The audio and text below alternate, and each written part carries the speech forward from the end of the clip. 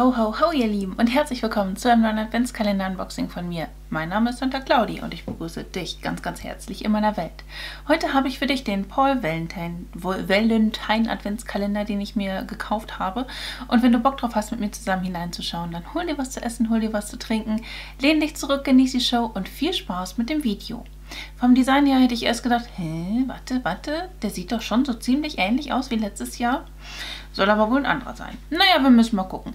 Ich gucke gerade mal auf der Homepage. 159,90 Euro habe ich dafür bezahlt. 572 Euro Warenwert sollen drin enthalten sein. Das rechne ich grob nach, sofern ich die Schmuckstücke finde. Ne? Und ähm, ansonsten sind es halt eher so Schätzpreise. Ich finde den aber schon hübsch. ja, Schon, ne? Also wir haben hier auch so ein schönes Schleifchen dran. Ein Paul Valentine Schmuck ist auch sehr hochwertiger Schmuck. Und ich weiß noch, letztes Jahr, da habe ich den in Silber gehabt. Ich weiß jetzt nicht, in welcher Farbe ich den dieses Jahr bestellt habe. Und da hatte ich meiner Mama auch so ein Armbändchen und so geschenkt davon. Und das trägt sie jetzt immer und ist da auch ganz stolz drauf, weil die das auch so hübsch findet. Das ist total cool, freue mich voll. Und ja, hier habe ich jetzt auf jeden Fall den Paul Valentine Adventskalender von diesem Jahr der wirklich so schön aussieht. Guck mal, das mag ich gerne mit diesem dunkelgrün. Aber bla bla bla, reingucken. Ach ja, stimmt, da war ja was. Wir haben hier nicht nur Schmuck drin, sondern wir haben ja auch Produkte von Rituals, L'Occitane, Lonely Bow OPI und Shine Professional drin. Da war ja was. Es ist ja nicht nur Schmuck drin. Hm. Und die haben leider nicht dazugelernt. Zwischenebenen gibt es immer noch nicht, aber es gibt die Nummer 1. Dort drin befindet sich ein Schmuckstück von Paul Valentine. Au! In einem Seidenpapier eingeschlagen. Ich habe offensichtlich Gold gewählt, gefällt mir. ähm, genau, und da haben wir ein, eine Kette drin enthalten, die wirklich auch eine gute Verlängerung hier oben auch mit bei hat. Ne? Ja, ich habe die Videos von Unbox Butterfly Nicole geguckt. Die hat in letzter Zeit richtig viele coole Schmuckboxen vorgestellt und die hat irgendwie echt Ahnung von sowas und deswegen liebe Grüße gehen raus. Ähm, ja, ist eine sehr filigrane Kette und hier haben wir dann auch einfach so ein Glitzersteinchen unten dran. Mensch, das kannst du wirklich zu vielem kombinieren, ne? Das ist sehr hübsch und ich mag auch dieses Glitzersteinchen da unten. Das ist so richtig sparkly-parkly. 160 Euro hast du gekostet, Adventskalender. Da musst du doch aufpassen, dass du nicht so runterknallst. Die Nummer 2. Hier haben wir das Produkt von Shine drin enthalten. Ich glaube, Shine hat auch einen kompletten Adventskalender rausgebracht, oder? Ähm, Color Protect Shampoo, 50 Milliliter Cleanse Soft and Shine. Jo, das ist ein Shampoo, das darf mit dabei sein, weil es ist ja auch äh, gesagt worden, dass sowas mit drin ist, deswegen passt das schon keine Ahnung, wonach das riecht. Ähm, Cleanse Colored Hair.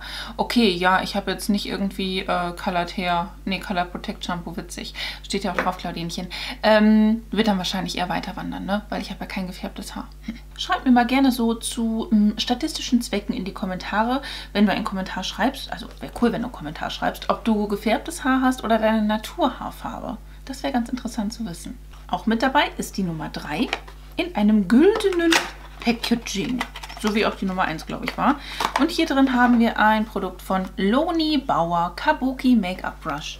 Ach, guck, ein Pinsel. Pinsel kann man gut gebrauchen. Das mag ich. Ich kenne die Marke jetzt so gar nicht, ne? Und ähm, das ist einfach so ein Kabuki-Pinsel, der so rumstehen kann und den man dann verwenden kann. Jo, kann man sich gönnen. Hier haben wir die Nummer 4. Hier haben wir wieder ein Produkt von Paul Valentine drin, was sehr leicht ist. Aber Schmuck ist ja eigentlich eh immer recht leicht. Ne? Das wird ein Armband sein. Armbänder wandern bei mir immer direkt weiter, weil ich es einfach nicht verwende. Ihr seht mich in meinen YouTube-Videos ja ungefähr nie mit einem Armband. Ne? Also wäre das auch irgendwie, irgendwie relativ mischugge, wenn ich jetzt ein Armband behalten würde. Ähm, so sieht das aus. Das Logo, das äh, rastet gerade ein bisschen aus, okay. Ähm, wir haben so eine, ich weiß nicht, wie man diese Glieder nennt, aber das sind halt so Kreise, ja, Kugeln. und äh, ja, ne, das finde ich optisch total schön und ich glaube auch als Kette wäre das eine ganz feine Geschichte, aber ähm, als Armband trage ich es halt einfach nicht. Der 5. Dezember, der Tag von Nikolaus, ist jetzt hier, ist relativ schwer. Oh ja, oh, mag ich gerne leiden, die Farbe. OPI, ähm, das ist ein Nagellack. OPI Red, Okay, aber du hast doch bestimmt noch eine andere Farbbezeichnung als nur OPI Red, oder? Egal, auf jeden Fall ist es äh, so ein Rot, was mit so einem holographischen Blau durchzogen ist. So einen ähnlichen habe ich tatsächlich schon von Catrice leider. Das heißt, der wird dann auch weiter wandern, aber das ist nicht weiter schlimm, weil ich kann sowas ja immer super verlosen. Ich finde den aber extrem schön, weil das ein toller Bärenton ist, der mit so einem ähm, Pearly Shine durchzogen ist. Das ist, das ist was anderes als der klassische Rotton. Ne? Mit wunderschönen Fing Fingernägeln öffnen wir jetzt die Nummer 6, äh, ja quasi Nikolaus. Und natürlich haben wir da ein Schmuckstück von Paul Valentine drin, was ich gut finde. Hier habe ich Ohrringe drin, so Kreolen. Und die finde ich hübsch wirklich hübsch. Wie zeige ich euch die? Ja, es sind halt so goldene Kreolen, ne? Zeitlos, wirklich hübsch. Hübsch, hübsch. Habe ich gesagt, dass ich die hübsch finde. Ähm, und die sind halt so zum Aufklappen, Ohrläppchen durchstecken, zuklappen. Fertig ist die Laube. Hier habe ich nur die Nummer 7, die sehr äh, rappelig sich anhört. Hier habe ich ein Produkt von L'Occitane drin. Das ist ein Serum. Das äh, Immortel Reset New, Nuit, nicht nu, also, also Nachtserum, 5 Milliliter. Ne? Ähm, das hatte ich letztes Jahr im L'Occitane Adventskalender auch schon drin und auch schon in diversen anderen Boxen. Und das ist eine gute Geschichte. Ich meine sogar, dass ich das verwendet habe. Mochte ich eigentlich gerne leiden. Die Nummer 8 darf machen, dass es kracht. Das ist eben einfach so gesetzt. Ne? Sie darf machen, dass es kracht, muss es aber nicht. Jetzt hier keinen Zwang. Ne? Ist ein Produkt von Paul Valentine drin. Ach ja, es steht auch auf der Homepage, dass hier eigentlich Earcuff drin enthalten ist. Ja, ne? Ist eine hübsche Kiste, ist halt mit so einem, ja, ich weiß nicht, Zopfdesign, Ringdesign, wie auch immer. Ich habe versucht, sie zu mögen. Wir haben uns leider nicht anfreunden können. Holla, die Waldfee. Mal gucken, worüber wir uns in der Nummer 9 freuen dürfen. Die ist nämlich riesengroß und wieder wunderschön gold. Was von Rituals vielleicht? Jausen. Schön. The Ritual of Meer, ein Home Perfume. 50 Milliliter sind hier drin. Ich mag halt einfach gerne diesen Ritual of Meer Duft, äh, gerade Richtung Weihnachten. Das ist nämlich Orange und ähm, Sandelholz. Ne? Und das ist halt richtig auer weihnachtlich vom Duft und ich mag's. Cool. Mal sehen, wie es in der Nummer 10 weitergehen wird. Oh. Mit Paul Valentine. Das ist super. Ja, jetzt kommen wir so langsam wieder Abwechslung, äh, Abwechslung hier rein. Ne? Sonst war das am Anfang hatten wir eine Kette, dann kamen zwei Fremdprodukte und dann wieder Paul Valentine, Fremdprodukt, Paul Valentine, Fremdprodukt. Ich glaube, es kommt jetzt wirklich in einem schönen Wechsel. Ähm, hier habe ich, glaube ich, einen größenverstellbaren Ring drin enthalten. Oh Mann, das ist hübsch. Der ist, der ist, warte, ich mache so. Der ist wirklich hübsch. Kann man, also kitschig, definitiv. Ne? Wir haben Blinky mit drin, wir haben dieses ähm, ja, Riffeldesign. Aber ich mag den. Schön. Hüpfen wir zur ersten Schnapszahl, zu der Nummer 11. Oh, noch ein Paul Valentine Produkt. Das finde ich schön. Äh, ja, ich mag diese, dieses, dieses ähm, ja, diese Kettenform an und für sich total gerne. Problematisch bei dieser Kettenform ist aber leider immer, dass das sich irgendwie so komisch bei mir verdreht und das sieht irgendwie dann schwierig aus, ne? Aber es ist ein schönes Armbändchen. Ich habe keine filigranen Armumfanggeschichten. Das muss ich immer wieder dazu sagen bei diesen Schmuck-Adventskalendern. Und ich hätte trotzdem noch ordentlich Platz. Also das ist halt wirklich sehr, sehr, sehr, sehr, sehr, sehr, sehr gut gemacht. Wow, die Nummer 12, Halbzeit riesig. Ich mag das. Ach so. Okay, wir haben eine Wimpernzange hier drin von, upsala, den Nugget kenne ich gar nicht, von Loney and Bauer. Loney Bauer. Ich habe jetzt aktuell eine von Catrice, die ich richtig geil finde tatsächlich, aber das ist eine Wimpernzange. Ja, ist gut, dass wir hier so zwei Halteviecher haben, ne? Wimpernzange kann man immer gut gebrauchen. Schön. Die Nummer 13. Hier haben wir etwas drin von L'Occitane. Le Petit Remède. Le Petit, Le Petit, Re, The Petit Remedy. Hä? Was bist du denn? Ideal for Face, Body, Hair and People You Love. 100% natürlich, 15 Gramm. Das ist wahrscheinlich so eine Allzweckcreme, war. Da müssen wir mal gucken. Schauen wir. Balm Multi-Usage, ja. 100% natürlicher äh, Ulti, hier, Multi-Purpose Balm. Rieche ich mal. Bin ja neugierig. Oh. Riecht wirklich sehr kräuterig, ne? Und das ist halt so ein Balsam. Ja. Schön. 14, die Nummer 14, wird wahrscheinlich etwas von Paul Valentine sein. Jausen, da schauen wir mal hinein. Das ist hier. Es ist leicht. Es, es sind Ohrsteckerchen, oder? Ui, was fein. Die passen richtig gut zur Kette. Oh mein Gott, das ist ja hübsch. Das finde ich, das finde ich, das finde ich hübsch. Das mag ich gerne leiden. Ja, zeige ich euch die. So. Ne? Das sind süße kleine Ohrsteckerchen.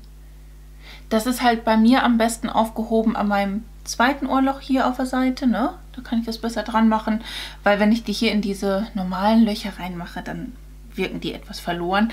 Aber gut. Nummer 15. OPI hat noch einen weiteren Nagellack dabei. Ich glaube, der ist nicht richtig durchgeschüttelt. Ähm, das ist auch 15 Milliliter in der Farbe My Very First Knockwurst. Nicht im Ernst. Ich hätte jetzt auch wirklich gesagt, die Farbe erinnert mich ein bisschen an Leberwurst. Aber gut, ja, gut. Wenn die die Farbe schon selber so nennen, ne? Dann ist es halt eine Knockwurst. Heißt Knockwurst Leberwurst? Ich weiß es nicht. Ist auf jeden Fall witzig. Die Nummer 16 fühlt sich auch wieder leicht an. Also hier wird wieder Schmuck drin sein, würde ich sagen. Jausen. Okay, hier haben wir die passende Kette eben zu dem Armband, was wir hier schon drin hatten. Eine wirklich schöne Kette, kann man nicht anders sagen. Aber wie gesagt, ne, das äh, Armband behalte ich ja nicht. Dann werde ich die Kette wahrscheinlich zusammen mit dem Armband dann auch weiter verschenken. Und ähm, ja, hier, also hier kann es halt wirklich passieren, dass A, die Haare sich so krass drum zuwickeln. Ich habe tatsächlich auch so eine ähnliche Kette schon. Ich meine übrigens, dass der Adventskalender auch immer noch verfügbar sein sollte. Ne? Also schaut da gerne in der Infobox vorbei. Da habe ich euch den dann auf jeden Fall auch verlinkt. Nach der Nummer 16 kommt die Nummer 17 und die Nummer 17 ist eine Woche vor Heiligabend. Da dürfen wir ein bisschen Pflege mit L'Occitane betreiben.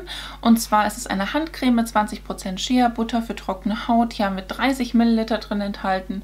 Und ich habe aktuell auch so eine ähnliche in Anwendung, also quasi bei mir am Bett stehen. Die ist super reichhaltig. Mag ich gerne leiden und kann ich halt auch wirklich echt wärmsten Herzens empfehlen. Die Nummer 18 begrüßt uns in der Weihnachtswoche und hier haben wir dann auch wieder Schmuck von Toll Valentine drin. Mal schauen, was das ist. Ein Riesenvieh, zwei Riesenviecher, Ohrringe. Oh ja, das sind sehr große, wunderschöne Kreolen. Oh, sowas mag ich. Ich mag Kreolen. Kreolen und ich, wir sind einfach ganz große Freunde, Leute. Ähm, einfach, weil ich gerne Kreolen mag. Was ich hier auch sehr positiv anmerken möchte, das sind geschlossene Kreolen. Das heißt, auch wenn wir irgendwie eine Maske tragen oder wenn wir einen Haarreif tragen oder so, es wird sich da nichts drin ver, ver verheddern, heddern, auch die Haare nicht und so, weil das habe ich sonst, wenn ich so halb offene Kriolen habe, dass meine Haare sich da so gerne mit reinwubbeln oder ne, die Maske halt. Ist hier nicht der Fall und die sind sehr, sehr schön groß, aber nicht zu groß. Boah, die Nummer 19 ist auch wieder riesig, aber ich glaube, da ist jetzt nichts genau. Also da ist was drin, aber es füllt nicht das komplette Kläppchen aus. Ne? Es ist von Shine etwas und zwar ein Super Soft Botanical Infused Hair Repair Serum mit 50 Millilitern. Okay, Sowas gebe ich mir gerne in Längen und Spitzen. Kann man machen, ne? Und das macht dann die Haare ein bisschen softer. Ihr seht ja auch, wie trocken die sind. Im Winter werden die Haare und die Haut und alles ist ja noch trockener. Dementsprechend ist das ein super Produkt dafür. Und dann kann man schon mal für Heiligabend vorsorgen, dass man dann ein paar Tage später auch wie aus dem Ei gepellt an Heiligabend am Essenstisch sitzt oder am, wir beschenken uns alle Wohnzimmertisch. genau, das hilft. Die Nummer 20. Hier haben wir ein Produkt von Shine wieder drin. Okay, zwei Shine hintereinander läuft. Hier haben wir den Color Protect, Protect Conditioner, passend zu dem Produkt aus der Nummer 2 mit 50 Milliliter. Und das ist doch schon eine ganz feine Geschichte, wenn man im Adventskalender sowohl das Shampoo als auch die Spülung dazu drin hat. Ne? Kann man dann den Kombi verwenden. Auch in der 21 scheinen wir kein Paul Valentine Produkt drin zu haben. Nee, sondern von äh, OPI ein Nagellack mit 15 ml. Den müsste ich auch schon da haben. Das ist die Farbe NLD 53. Echt? Susie is my Avatar. Okay, das ist halt so ein schöner Rosé Pinkton, aber nicht richtig pink, ne? Das ist halt eher so Rosé. Auch recht groß ist die Nummer 22. Okay, das haben die komisch befüllt, ne? Hier habe ich nämlich jetzt ein Produkt von Paul Valentine drin. Ja, hä? Ja, schwierig. Hier hätte ich jetzt nämlich zu, passend zur Kette und Ohrringen das passende Armband von Paul Valentine, Valentine halt, ne, mit diesem Glitzersteinchen und auch zum Ring. Aber das wird nicht bei mir bleiben, weil es ist ein Armband. Bleiben wir einfach mal ehrlich mit uns selber. Es hat sehr grobe Glieder, die aber auch so ein bisschen eckig sind, ne? also nicht komplett rund schon irgendwie hübsch, aber ich mag keine Armbänder. Nochmal so ein Riesenvieh, die Nummer 23. Da habe ich jetzt ein Produkt von L'Occitane drin. Echt, wir haben nur ein einziges Rituals-Produkt drin. Schade, Schokolade hätte ich jetzt irgendwie mehr drin haben wollen. Ähm, das hier ist ein Duschöl mit 75 Millilitern. Das ist einfach dieses Mandelduschöl. Das habe ich auch schon das ein oder andere Mal verwendet und leer gemacht. Ich mag den Mandelduft leider nicht ganz so gerne leiden, muss ich sagen. Ähm, ja, aber ist mit dabei und das ist auch in der kalten Jahreszeit wieder ganz gut, weil dann hast du halt auch eine Pflege mit im Duschprodukt mit drin und hast nicht nur diese reinigende Wirkung. Deswegen passt das. Frisch geduscht feiern wir nun Heiligabend, den 24. Dezember. Da gehe ich natürlich von aus, dass hier eine Kette drin ist. Aber da müssen wir einfach mal schauen, was Paul Valentine sich da überlegt hat für uns. Ja, es ist eine kurze Kette. Es ist eine schöne Kette. Es ist eine Kette, die wahrscheinlich nicht jeder unbedingt so vom Anhänger her leiden macht, aber ich mag die sehr, sehr gerne, weil das ist so eine Art, ja, das ist der Polarstern, nee, Nordstern, Polarstern, ne, Stern.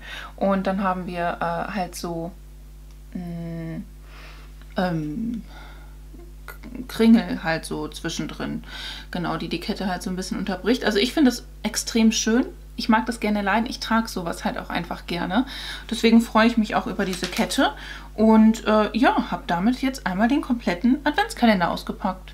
Bei Paul Valentine ist es immer so eine Sache, du hast halt sehr hochpreisigen Schmuck, aber dann wirklich recht viele in Relation ne, zu dem Schmuckgedönsen halt.